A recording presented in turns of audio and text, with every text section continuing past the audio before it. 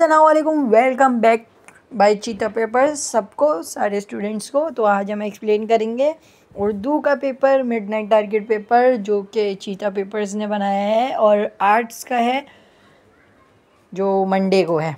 तो ये जो हमारा उर्दू का पेपर है, ये बेसिकली चार पेजेस का है। एक, दो, तीन और ये चार। तो इसमें जो है, मैं आप लोगों को ये ये बात बोलना चाहूँगा कि जो है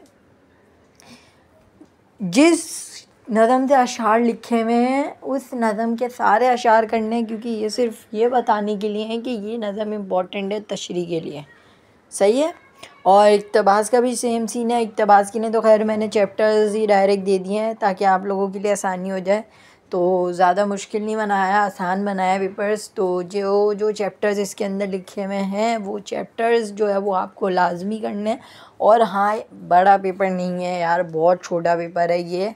मरकज़ी ख्याल लिखा हुआ है, अहम मरकज़ी ख्याल लिखा हुआ है, अज़फ़ आत्मतुज़ारा की रुखसती, बदली का चाँद और चारों सबक, तीनों सबक के नाम लिखे हुए हैं। उसके बाद इकतबास के जो है वो चैप्टर्स लिखे हुए हैं।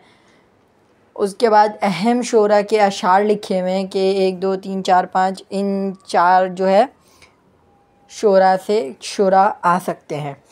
उसके बाद जो है, अहम नसर नगार पे सवाल लाएगा, क्योंकि जो है तो मंदरजा झेल नसर नगार की खसूसियात तहरीर करनी है तो ये सर सैद अहमद रसीद सुलेमान नदवी सैयद सुलेमान नदवी और अहम शुरा के कलाम पे तबसरा करना है। सही है? उसके बाद मंदजा झेल ज़मीन में से किसी एक नसर निगाह की तर्ज खसूसियात तहरीर करें तो ये दो मीर तकी मीर और मिर्ज़ा गालिब दिया हुआ है। उसके बाद जो है अशार की तशरी करनी है। अच्छा मैं आप लोगों को दोबारा बता रहा हूँ कि अशार जिस चैप्टर नज़म से लिए गए हैं, उस नज़म को सारे अशार करिए, क्योंकि इम्पोर्टेंट नज़म है। इसका मतलब ये है। उसके बाद जो है मजमून दिया हुआ है Pakistan super league, social media के फ़वाद और महँगाई और इसके असरात। उसके बाद एक शायर के ऊपर जो है, वो जो आप लोगों को पता है तबसरा वगैरह लिखना होता है, वो है।